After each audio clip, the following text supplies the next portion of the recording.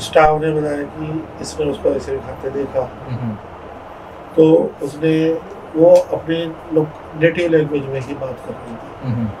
वो वैसे तो बता रहे थे कि एयर होस्टेस से एक साल पहले जॉब छूट गई है। हम्म, लेकिन उसने ना तो हमसे हिंदी में बात करी ना इंग्लिश में बात करी।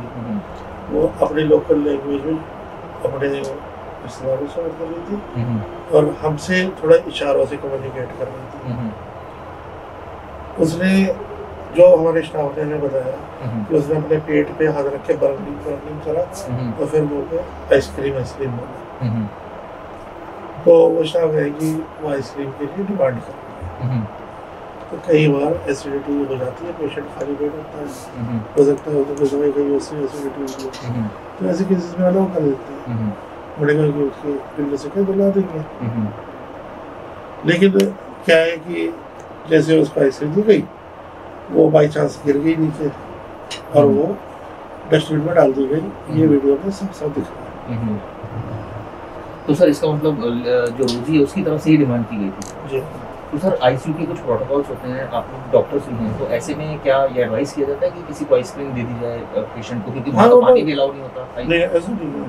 पेशेंट की कंडीशन के हिसाब से उसकी डाइट होती है। हम्म, मैंने आपको बताया कि उसके साथ में दूसरे पेशेंट थे जिसके बहुत अल्सर थे हम्म, और ये ऐसे कहने की बात नहीं वीडियो में रिकॉर्डिंग में है। खाते दिख रही है। हम्म, तो पेशेंट की कंडीशन के हिसाब से डाइट एडवाइस होती है। हम्म, ऐसा नहीं है कि कुछ अब क्या छोटा सा अस्पताल है पेशेंट की जो आईसीयू के अंदर घुस भी जाता है कई बार। हम्म, तो हमारे पास ऐसे बड़े अस्पताल की तरह गार्ड्स तो नहीं बहुत सारे।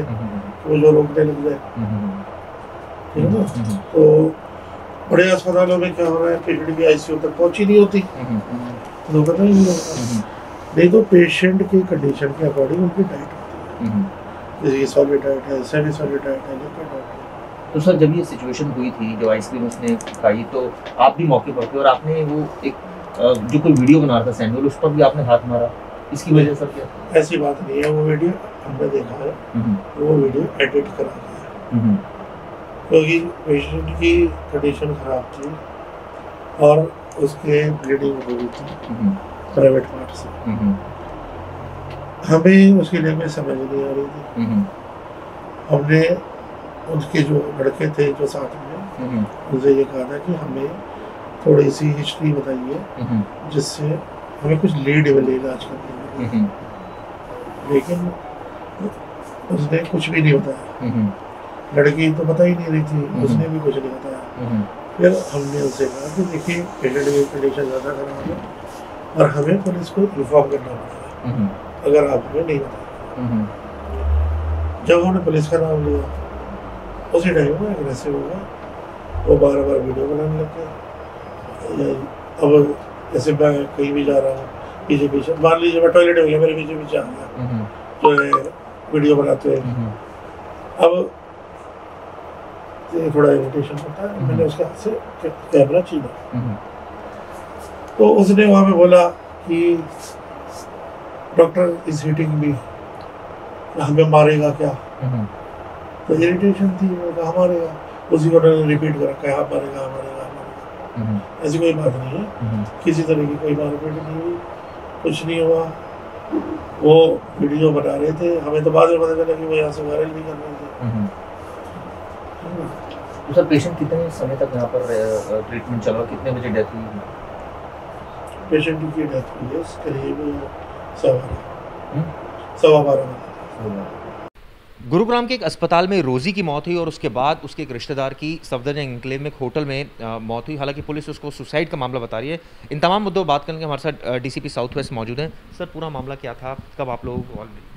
ये 24 तारीख की घटना है। 24 तारीख को अ, 24 जून को पीसीआर कॉल हुआ था कापासेड़ा थाना क्षेत्र में कि एक लड़की है और वो मेडिकल नेग्लिजेंस से वो मर गई है। तो लड़की का नाम रोज़ी है और नॉर्थ ईस्ट कम्युनिटी को बिलोंग करते हैं ये मणिपुर के रहने वाले हैं और गुड़गांव में अल्फ़ा हॉस्पिटल में ये एडमिटेड थी फॉर सम मेडिकल एलिमेंट और ठीक ठीक हो रही थी और डॉक्टर्स ने शायद इनको कुछ फ़ीड किया था आइसक्रीम वगैरह। तो फैमिली का ये कहना है कि वो, उस तरह की फीडिंग से शायद इनकी मृत्यु हो गई। और देवर एलेजिंग के मेडिकल नेग्लिजेंस है। तो इनका जो ये रिलेटिव है, जिसका नाम सैमुअल संगमा है तो ये यहाँ पे सफदरजंग थाना क्षेत्र में एक होटल है, अल्तमस होटल। वहाँ पे लॉज उसने अपने आप को करा हुआ था, अपने दो तीन फ्रेंड्स के साथ में। He was suppose to go back वो वापस जाना था उसको कोहिमा मणिपुर सॉरी चंडीगढ़ में कहीं काम करते थे। हाँ वापस वापस जाना था उनको। और यहाँ पे वो लोग ट्रांजिट के लिए स्टे कर रहे थे और इन द मीन टाइम वो काफ़ी अपसेट भी था क्योंकि इन, इसकी मृत्यु हो गई थी। और इनको भी ये लग रहा था कि मेडिकल नेग्लिजेंस की वजह से हुआ है। तो उसने अपने घर में फ़ोन भी किया और उसने बोला कि मैं डॉक्टर प्रशासन से बात करूँगा मैं कंप्लेंट वगैरह करूँगा कि नेग्लिजेंस की वजह से हुआ है।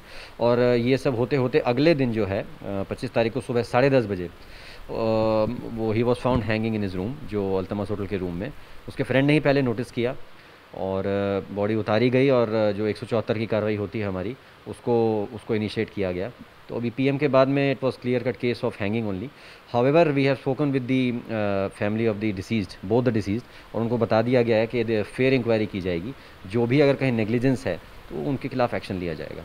सर, इस मामले में जो फोटोग्राफ है लड़के की, जिसमें आपने बताया कि पोस्ट सुसाइड लग रहा है इनिशली लेकिन वो, उसमें ऐसा लग रहा है उसके बहुत सारी चोटें लगी हैं। I am yet to read the P M report fully however उसमें कंक्लूसिवली लिखा है कि the death is due to asphyxia due to antemortem hanging sir, इसमें ये पता लगा कब से ये उस होटल में रह रहा था या इमीडिएटली मतलब कुछ ही दिनों के लिए आया? ये दो तीन दिन हुए थे इसको वहाँ पे और इसके दो तीन फ्रेंड्स भी थे वहाँ पे जो इसके साथ में स्टे कर रहे थे। वो अलग अलग रूम्स में थे।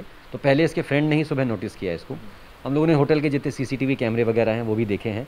ये इंश्योर करने के लिए कि कोई फाउल पे ना हो, किसी ने आके कुछ उल्टा सीधा कर दिया हो। तो वो सब रूल आउट करने के लिए हम लोगों ने सारे सीसीटीवी कैमरे भी देखे हैं। अभी तक कुछ सामने नहीं आया है।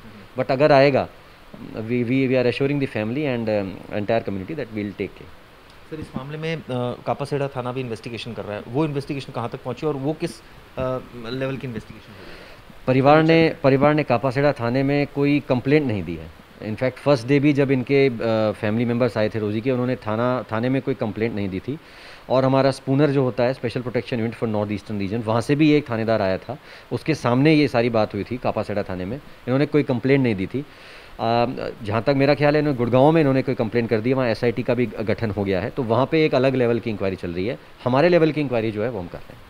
तो सर यहाँ अभी पोस्टमार्टम आई है रोजी की कब हुआ उसका पोस्टमार्टम कुछ इंडिकेट किया पोस्टमार्टम रिपोर्ट अभी आनी बाकी है। इंगित प्रताप हैं जो डीसीपी साउथ वेस्ट जो बता रहे थे डिटेल में इस पूरे केस के बारे में। फ़िलहाल कापासेड़ा थाना एक तरफ़ इन्वेस्टिगेशन कर रहा है वहीं दूसरी तरफ़ सफदरजंग इंक्लेव थाने में भी जाँच